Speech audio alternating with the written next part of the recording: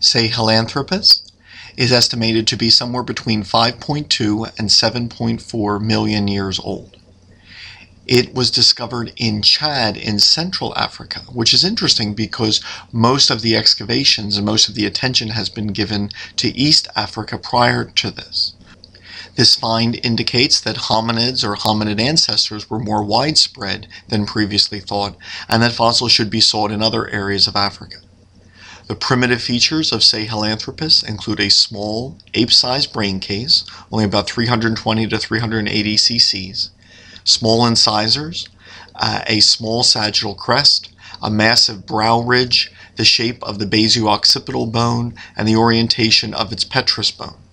The more advanced features, which link it to hominids, include an enamel thickness intermediate between chimps and Australopithecus, a face which protrudes less than chimps or Australopithecus, small apically worn canines, the basicranium length and orientation, the position of the foramen magnum, and its large supraorbital torus.